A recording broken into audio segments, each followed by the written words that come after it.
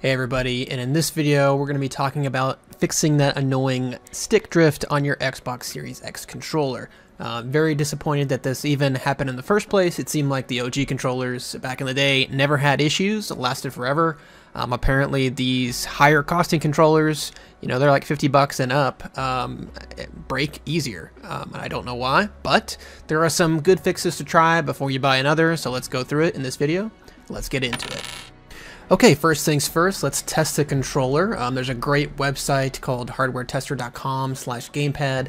I'll put a link in the description below, but this is a website where you can just uh, test your gamepad. You can see the drift occurring on the left here. This is the left joystick that is causing problems, but I'll press up or down, release, it'll go back to center, and the sensor doesn't go back to center, which is causing severe stick drift and a lot of annoyance when playing games. So most fixes require you to open your controller up to kind of get the dirt and debris out of your sensor area um, where your joystick sits. Um, so that's what we're going to do in this video. You can try it without opening your controller up with, you know, a can of air, but uh, honestly, opening it up uh, worked for me. So for this job, you're going to want some Torx security bits, some screwdrivers, a pry tool, canned air, and alcohol, and a Q-tip. We're going to remove the batteries in the back plate and we're going to remove the two side panels on the back of this controller. As a quick note, you will need the Torx security bits and you can buy these on Amazon for about 12 bucks or even a little less, but I'll put a, um, a little affiliate link in the description below. Um, this is a really good set and you'll see that it has a little hole in the center. Um, these are special screws you'll have to use to open the controller up. So I'm going to use my pry tool and I'm going to hold down the trigger button as I pry and then I'm going to push directly backward and the back plate of the grip on the controller will pop off. Um, you can use a, a screwdriver, um, but if you use a regular screwdriver you could scratch the plastic a little bit, but if you use the plastic one it should be a bit better. So again, hold down on the trigger, press directly away from the controller, and then it'll pop off. And once we've removed the two grip panels with our pry tool, we now want to remove the sticker on the back side of the controller in the battery compartment.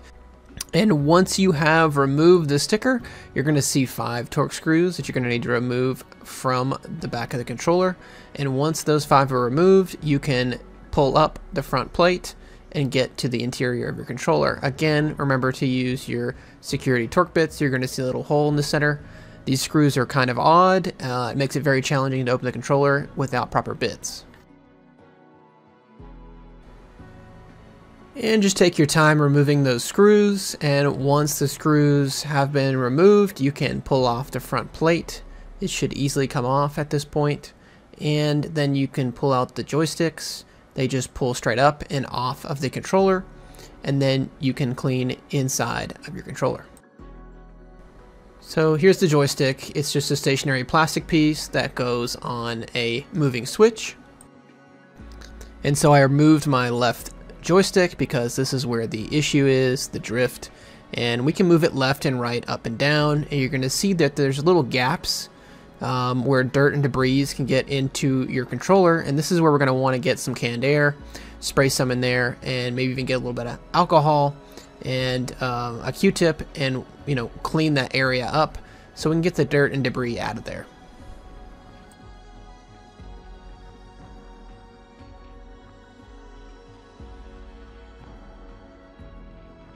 Once we have cleaned out the compartments of dirt with our canned air, we can use some alcohol here and a Q-tip, wipe around in there, clean up any excess dirt that may still be lingering, and this will help reduce drift in your controller as well.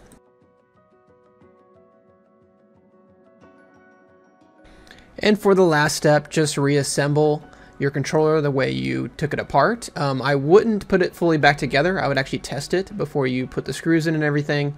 So just go back to your gamepad tester and we can see here we've removed the stick drift. Um, you can see there's barely any drift here um, not enough to cause any issues with any programs or games when using this controller. If this video helped you, please like and subscribe. It helps the channel. And as always, thanks for watching.